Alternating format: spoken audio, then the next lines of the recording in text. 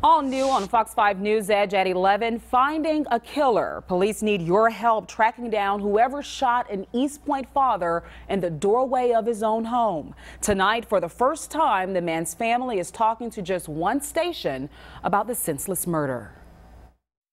I don't know. It still feels like yesterday, but there, yeah, I know it's been a year.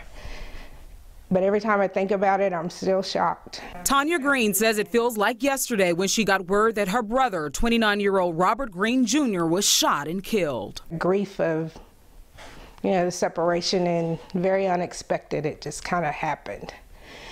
But then the second thing is, um, it's kind of agonizing, not the fact that it happened. We don't know why, we don't know who did it.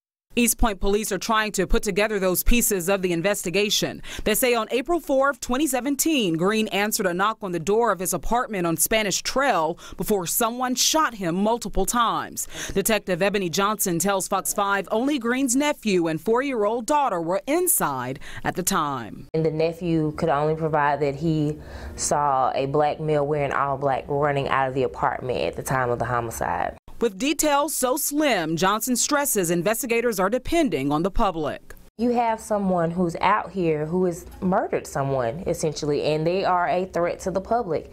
Um, and it's just imperative that we find out who this person is because if they haven't done it again, we don't want them to do it again. The Green family couldn't agree more. And on the anniversary of this young man's tragic death, loved ones seek justice and closure. They're happy times that we had together.